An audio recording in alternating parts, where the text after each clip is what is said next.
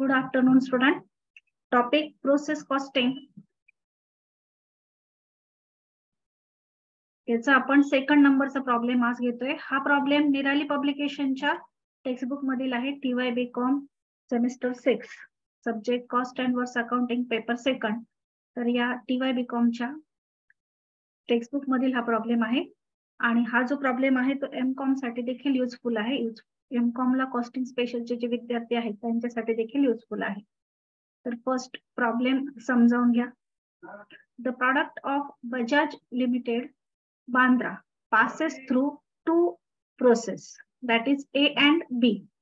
एक प्रॉडक्ट जे आहे बजाज लिमिटेडचं ते दोन प्रोसेस मधून पास होतं. It is ascertain that in each process ten percent of the total weight is lost आपण जो फर्स्ट प्रॉब्लेम पाहिला होता तो सिंपल प्रॉब्लेम होता. त्यामध्ये कोणत्याही प्रकारचा प्रोसेसमध्ये लॉस वगैरे होत नव्हता. परंतु ह्या प्रॉब्लेममध्ये काय सांगितलेलं आहे? की it is ascertain that each process म्हणजे प्रत्येक प्रोसेसमध्ये ten percent of total weight म्हणजे जेवढं रॉ मटेरियल तुम्ही प्रोडक्शनसाठी टाकलेलं असेल त्यापैकी दहा टक्के वजनाचं जे रॉ मटेरियल आहे ते काय होणार आहे?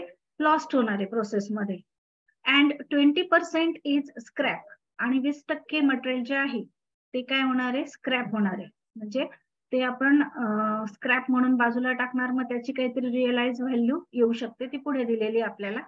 The realisation from scrap amounted to rupees one hundred sixty per ton and rupees four hundred per ton from process A and process B respectively म्हणजे जो वजनाचा दहा टक्के लॉस होणार आहे टोटल वेट मधला त्याच्यातून कोणतीही रिअलाइज व्हॅल्यू नाही येणार. पण जे स्क्रॅप होईल तर त्या स्क्रॅप मधून आपल्याला रिअलाइज व्हॅल्यू मिळेल. तर जी प्रोसेस ए आहे त्यामध्ये एकशे साठ रुपये पर टनने रिअलाइज व्हॅल्यू मिळेल. आणि जी प्रोसेस बी आहे त्यामध्ये चारशे रुपये पर टनने रिअलाइज व्हॅल्यू मिळेल. The cost of figures relating to process are as follows तर फर्स्ट दिलेले आपल्याला मटेरियल कंझ्युम टर्न्समध्ये आहे. प्रोसेस ए मध्ये किती मटेरियल वापरलं जाणार आहे? तर प्रोसेस ए मध्ये टू थाउजंड टन्स मटेरियल वापरलं जाणार आहे. म्हणजे प्रोसेस ए करताना इनपुट जो आहे तो किती मटेरियलचा टाकला जाणार आहे? तर टू थाउजंड टन्सचा इनपुट टाकला जाणार आहे. आणि प्रोसेस बी ज्या वेळेला आपण करू त्यावेळेला ए मधलं जो शिल्लक राहिलेलं मटेरियल असेल ते पुढच्या प्रोसेसला जाणारच आहे. आणि प्लस आणखी त्यामध्ये ऍडिशनल इनपुट जाणार आहे बी मध्ये एक हजार चारशे टनचं. आता आपण काल जो प्रॉब्लेम पाहिला त्यात ओव्हरऑल एक हजार टनच इनपुट गेलं होतं. आणि त्या एक हजार टनवरच काय झाली होती? तीन प्रोसेस मधून ते मटेरियल गेलं होतं. पण ह्या जो प्रॉब्लेम आहे यात काय सांगितलंय की प्रोसेस ए करताना किती इनपुट किंवा कंझ्युम किती होणार आहे मटेरियल तर दोन हजार टन. आणि प्रोसेस बी करताना किती होणार? आहे एक हजार चारशे टन. पण जे प्रोसेस ए मधलं पुढच्या प्रोसेस साठी जाईल ते पण कॅरी होणार. आणि प्लस एक हजार चारशे आणखी इनपुट आपण प्रोसेस बी मध्ये टाकणार आहोत. त्यानंतर मटेरियलची कॉस्ट दिलेली आहे पर टन दोनशे पन्नास रुपये ए प्रोसेस साठी आणि बी प्रोसेस साठी चारशे रुपये. आणि इतर जे खर्च आहेत तर ते येत आहेत डायरेक्ट वेजेस छत्तीस हजार रुपये प्रोसेस ए मध्ये प्रोसेस बी मध्ये चोवीस हजार. आणि चार्जेबल एक्सपेन्सेस प्रोसेस ए मध्ये अकरा हजार प्रोसेस बी मध्ये बारा हजार नऊशे साठ. मग हा प्रॉब्लेम कालच्या प्रॉब्लेमपेक्षा कसा वेगळा आहे? तर ह्या प्रॉब्लेममध्ये आपल्याला वेटमध्ये दहा टक्के लॉस होणारे हे सांगितलेलं आहे प्रत्येक प्रोसेसमध्ये आणि वीस टक्के मटेरियल जे आहेत ते स्क्रॅप होणारे हे पण सांगितले प्रत्येक प्रोसेसमध्ये त्यानंतर स्क्रॅपची रिअलाइज व्हॅल्यू सांगितलेली आहे. प्रोसेस ए मधून मिळणारे आपल्याला एकशे साठ रुपये पर टन प्रोसेस बी मधून मिळणार आहे चारशे रुपये. पर टन त्यानंतर जो आधीचा आपण पहिला प्रॉब्लेम पाहिला त्यामध्ये फक्त एक हजार युनिट जे आहेत ते प्रोसेसला जात होते. परंतु ह्या प्रॉब्लेममध्ये दोनदा इनपुट आपण टाकणार. आहे प्रोसेस ए मध्ये दोन हजार टनचं टाकणार आहे प्रोसेस बी मध्ये एक हजार चारशे टनचं इनपुट पडणार. आहे म्हणजे बी ज्या वेळेला प्रोसेस करू आपण त्यावेळेला एचं शिल्लक राहिलेलं मटेरियल कॅरी होईल आणि प्लस बी प्रोसेस मध्ये एक हजार चारशे टनचं मटेरियल ऍडिशनल पडेल त्यामध्ये. आणि मटेरियलची कॉस्ट इथे दिलेली आहे दोनशे पन्नास रुपये आणि चारशे रुपये पर टन ए आणि बी ची. अदर एक्सपेन्सेस मध्ये डायरेक्ट वेजेस आहेत आणि चार्जेबल एक्सपेन्सेस आहेत. तर फर्स्ट आपण काढणार आहोत प्रोसेस ए अकाउंट वरती नाव द्या. In the books of Bajaj limited process A account यामध्ये आता कॉलम करताना आपल्याला क्वांटिटी दिलेली त्यामुळे क्वांटिटी आणि अमाऊंट असे कॉलम करायचे. Particular quantity amount particular quantity amount आता सुरुवात आपण कुठून करणार आहे? तर मटेरियल कन्झ्युमपासून. आधी आपण फक्त प्रोसेस ए चा विचार करतोय. मग प्रोसेस ए मध्ये किती मटेरियल कन्झ्युम झालं? दोन हजार टनचं मटेरियल कन्झ्युम झालं. एका मटेरियलच्या टनची कॉस्ट किती आहे? एका टनची दोनशे पन्नास रुपये. मग दोन हजार गुणिले दोनशे पन्नास केले तर आपल्याला टोटल कॉस्ट मिळेल. आणि टन्स मात्र किती आहेत? दोन हजार. म्हणून क्वांटिटी मध्ये घ्या. दोन हजार अमाऊंटमध्ये दोन हजार युनिट गुणिले दोनशे पन्नास आपण केलेले. दोन हजार युनिट गुणिले दोनशे पन्नास. तेवढं काय टाकायचं? Material consume two material consume two thousand unit into two hundred and fifty is equal to five lakh अमाऊंटच्या कॉलममध्ये घ्या. आणि क्वांटिटी मध्ये घ्या टू थाउजंड दोन हजार क्वांटिटी आहे टन्समध्ये. आता जे दोन आयटम दिलेले आहेत आपल्याला डायरेक्ट वेजेस आणि चार्जेबल एक्सपेन्सेस तर त्यावर कोणतीही ऍडजस्टमेंट वगैरे काही नाही. त्यामुळे ऍज इट इज अमाऊंट घ्यायच्या direct wages thirty six thousand आणि चार्जेबल एक्सपेन्सेस इलेव्हन थाउजंड याप्रमाणे आपण डेबिट साईडला घेऊन टाकूया. Direct wages thirty six thousand आणि चार्जेबल एक्सपेन्सेस जे आहेत ते इलेव्हन थाउजंड याप्रमाणे आपण डेबिट साईडच्या पोस्टिंग कंप्लीट केल्या. आता जो लॉस होतोय लॉस होतोय म्हणजे मटेरियल कमी होतंय किंवा स्क्रॅप होतोय तर मटेरियल कमी होतंय. म्हणून त्याचा इफेक्ट जो आहे तो आपण क्रेडिटला देणार आहोत. आता लॉस किती सांगितलेला आहे? टेन पर्सेंट सांगितलं आहे ऑफ टोटल वेट मग टोटल वेट किती आहे process H two thousand ton आहे. मग टू थाउजंड टनच्या टेन पर्सेंट म्हणजे किती येईल? टू हंड्रेड टन्स येतील. एवढा काय होणार आहे? लॉस होणार आहे. आणि लॉस मधून कोणतीही रिअलाइज व्हॅल्यू मिळणार नाही. म्हणून त्याचा इफेक्ट फक्त क्वांटिटीच्या कॉलमला येईल. By loss in weight in bracket ten percent of two thousand two थाउजंडच्या ten percent म्हणजे क्वांटिटीमध्ये येईल टू हंड्रेड त्याची कोणती अमाऊंट नाही मिळणार आपल्याला म्हणून अमाऊंटमध्ये डॅश करा. त्यानंतर स्क्रॅप जो आहे तो सांगितलाय ट्वेंटी पर्सेंट पण स्क्रॅप मधून आपल्याला काय मिळणार आहे? रिअलाइज व्हॅल्यू मिळणार आहे. The realisation from scrap amounting to rupees one hundred and sixty per ton first process मध्ये किती आहे? One hundred and sixty per ton so twenty percent आपण टू थाउजंड वर कॅल्क्युलेट करणार. आणि त्याला वन सिक्स्टीने गुणून जी अमाऊंट येईल ती आपण अमाऊंटमध्ये घेणार. मग घ्या by scrap in bracket twenty percent of two thousand ते आपण आधी कॅल्क्युलेट करणार. मग ट्वेंटी पर्सेंट टू थाउजंडच्या जर कॅल्क्युलेट केले तर येत आहेत फोर हंड्रेड मग क्वांटिटीच्या कॉलममध्ये लिहा फोर हंड्रेड मग फोर हंड्रेड टन जे आहे ते स्क्रॅप झालेले आहे. मग त्याच्यापासून व्हॅल्यू किती मिळणार आहे? एकशे साठ रुपये पर टन म्हणून दुसऱ्या कंसामध्ये कॅल्क्युलेशन करा. Four hundred into one hundred and sixty अमाऊंटमध्ये सिक्स्टी फोर थाउजंड. म्हणजे स्क्रॅपची आपल्याला अमाऊंट मिळेल पण लॉस इन वेटची अमाऊंट मिळणार नाही. याप्रमाणे आपण loss in weight ten percent आणि स्क्रॅप ट्वेंटी पर्सेंटचा इफेक्ट दाखवलाय. टू थाउजंड वर कॅल्क्युलेशन केलेले कारण इनपुट किती होतं?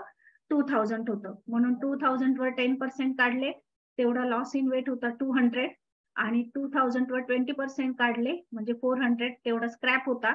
पण स्क्रॅप वर आपल्याला रिअलाइज व्हॅल्यू मिळालेली वन हंड्रेड अँड सिक्स्टी मग आपण वन हंड्रेड सिक्स्टीने इंटू करून अमाऊंटमध्ये घेतले सिक्स्टी फोर थाउजंड आता आपल्याला पुढच्या प्रोसेसला माल पाठवायचा आहे. तर पुढच्या प्रोसेसला म्हणजे प्रोसेस बी अकाउंट आता याला किती बॅलन्स शिल्लक राहतोय? तर त्यासाठी आपण क्वांटिटीची बेरीज करणार. ती खाली टोटलला लिहिणार. तेवढीच इकडे लिहिणार. त्यातून दोनशे आणि चारशे मायनस करणार. म्हणजे बॅलन्स किती राहिला? एक हजार चारशे. आपल्याकडे क्वांटिटी किती शिल्लक आहे? एक हजार चारशे. पण याचा रेट माहीत नाही. तर तो रेट आपण कसा काढणार आहे? तर रेट काढण्यासाठी आपण बॅलन्सिंग फिगर काढणार आहे. आणि त्याची एक वर्किंग नोट देणार आहे. या पद्धतीने आपण cost of ton per output किंवा एका टनचं किती कॉस्ट येते त्याचं कॅल्क्युलेशन करणार आहोत. तर ते कॅल्क्युलेशन कसं करायचंय? तर बघा ही जी अमाऊंट आहे डेबिट साईडची त्या डेबिट सॉरी इथे. डेबिट साईडची जी अमाऊंट आहे तिची बेरीज केली ती इथे टोटलला लिहिली. पाच लाख सत्तेचाळीस हजार five lakh forty seven thousand तीच इकडे पण लिहिली five lakh forty seven thousand आता हिच्यातून सिक्स्टी फोर थाउजंड मायनस केले बॅलन्स आलाय आपला four lakh eighty three thousand मी कंसात म्हटलेलं आहे बॅलन्सिंग फिगर आहे म्हणून. फक्त रेट कॅल्क्युलेट करायचा आहे आता रेट कॅल्क्युलेट करण्यासाठी आपण हा फॉर्म्युला लिहिलेला आहे. या पद्धतीने calculation of cost per ton of output त्यासाठी फॉर्म्युला आहे total production cost upon actual output तर मग आता प्रोडक्शन कॉस्ट जी बॅलन्सिंग फिगर आपली आलेली प्रोसेस ए मध्ये तर ती आहे चार लाख त्र्याऐंशी हजार. आपण इथे बॅलन्स काढलाय बघा. तो आहे चार लाख त्र्याऐंशी हजार.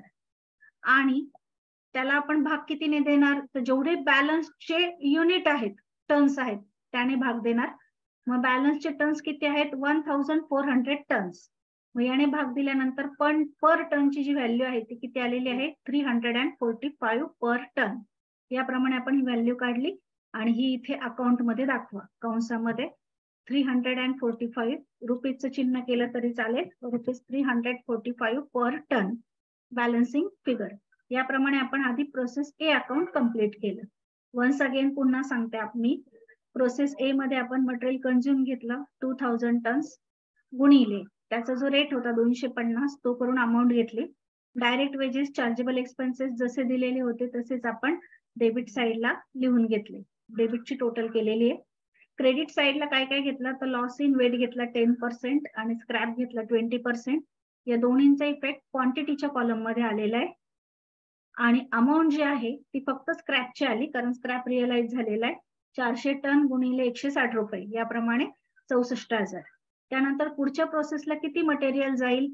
त्यासाठी बॅलन्स काढला. डेबिटची टोटल क्रेडिटला मांडली. त्यातून क्रेडिट मायनस करून या बॅलन्सिंग फिगर आल्या वन थाउजंड फोर हंड्रेड टन्समध्ये आणि four lakh eighty three thousand रुपीजमध्ये. मग पर टनची किंमत इथे कॅल्क्युलेट केलेली आहे. त्यासाठी याप्रमाणे वर्किंग नोट केलेली आहे. चार लाख त्र्याऐंशी हजाराला जेवढे टर्न्स बॅलन्स आहेत त्याने भाग दिला उत्तर आलं तीनशे पंचेचाळीस पर टन. इथपर्यंत काही डाऊट असेल तर विचारा. नेक्स्ट प्रोसेस जी आहे ती आहे प्रोसेस बी तर हा जो बॅलन्स आहे प्रोसेस ए तून आलेला तो आपण कॅरी फॉरवर्ड करणार आहोत. एक हजार चारशे टन्स आणि चार लाख त्र्याऐंशी हजार रुपये. तर डेबिट साईडला घ्या. टू प्रोसेस ए अकाउंट एक लाख सॉरी एक हजार चारशे क्वांटिटी मध्ये अमाऊंटमध्ये चार लाख त्र्याऐंशी हजार रुपये. याप्रमाणे कॅरी करा. त्यानंतर आता ह्या प्रोसेसमध्ये जे मटेरियल पडणार आहे ते आपण घेणार आहोत. तर या प्रोसेसमध्ये जे मटेरियल पडणार आहे ते मटेरियल इथे दिलेलं आहे one thousand and four hundred टन्समध्ये. आणि त्याचा जो रेट दिलेला आहे तो आहे फोर हंड्रेड रुपीज मग मटेरियल कंझ्युम आपल्याला घ्यायचे तर त्यासाठी मटेरियल कन्झ्युम घ्या सेकंड आयटम इथे प्रॉब्लेममध्ये एक करेक्शन आपण करून घेतलेलं आहे. तर एक हजार चारशे नाही. पुस्तकात पण ती प्रिंटिंग मिस्टेक आहे. तर एकशे चाळीस टन आहे. तर तेवढं करेक्शन करून घ्या. तुम्ही पण प्रॉब्लेममध्ये एकशे चाळीस टन आहे.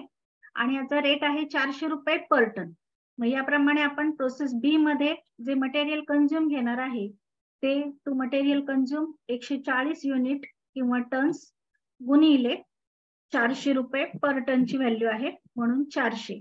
याप्रमाणे कॅल्क्युलेशन करून अमाऊंटमध्ये येईल फिफ्टी सिक्स थाउजंड छप्पन्न हजार रुपये आणि क्वांटिटी मध्ये येईल एकशे चाळीस.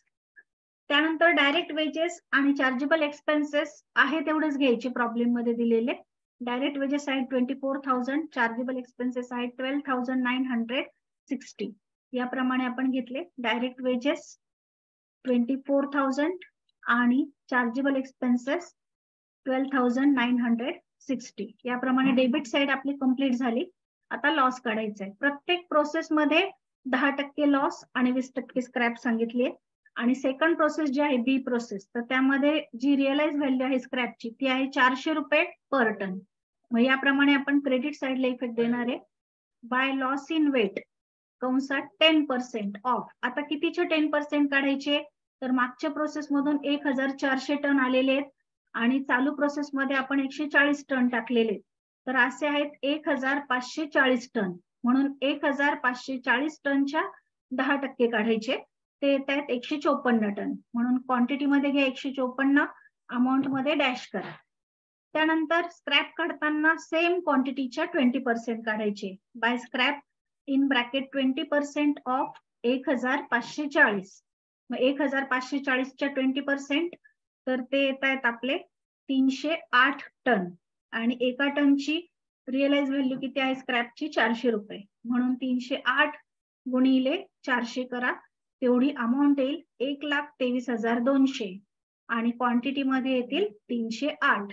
याप्रमाणे आपण लॉस इन वेट आणि स्क्रॅप या दोन गोष्टी दाखवलेल्या आहे आता बॅलन्सिंग फिगर जी आहे ती तुमचं फिनिश गुड्स येईल मग त्यासाठी डेबिटची टोटल करा क्वांटिटीची आणि डेबिटची टोटल करा अमाऊंटची ती क्रेडिट साईडला मांडा. त्यातून क्रेडिट साईडचे क्वांटिटी वजा करा एकशे चोपन्न आणि तीनशे आठ.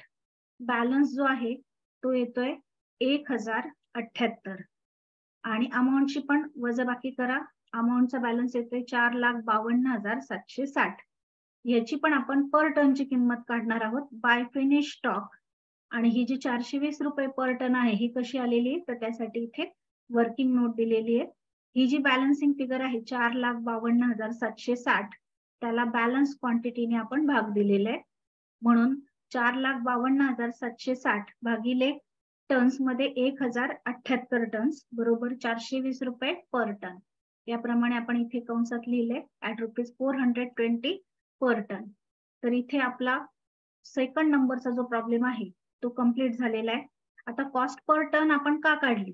तर इथे सांगितलंय बघा prepare process account showing cost per ton of output in each process जर ही विचारली नसती तर वर्किंग नोट काढण्याची गरज नव्हती. मग आपण फक्त या पद्धतीने ज्या बॅलन्सिंग फिगर होत्या त्या काढून पुढच्या प्रोसेसला घेतली असती. पण कॉस्ट पर टन विचारलेली होती म्हणून आपण वर्किंग नोट तयार केलेली आहे. आणि ही त्याची वर्किंग नोट इथे आपला सेकंड प्रॉब्लेम जो आहे तो कंप्लीट झालेला आहे.